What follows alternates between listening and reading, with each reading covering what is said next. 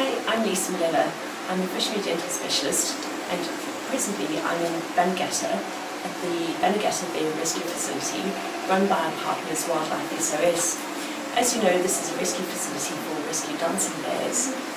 Part of the problem is getting the bears in to relieve pain and suffering, but once they're here they still need medical attention and what Paul, a human dentist, and I are busy doing is working on the dental care that the bears need.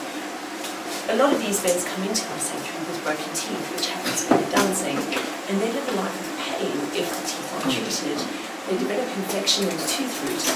This bear has just had her lower canine extracted.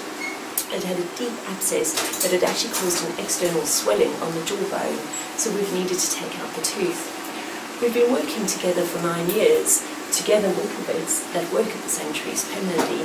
We've been training them to carry out a lot of the dental work too.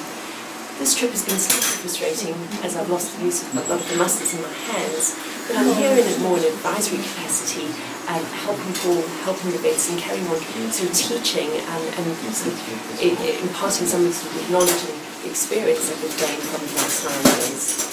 So hopefully this day will feel a lot better. It's quite a, a gruesome procedure at the moment, but once she's recovered a week down the line, she'll feel like a different day.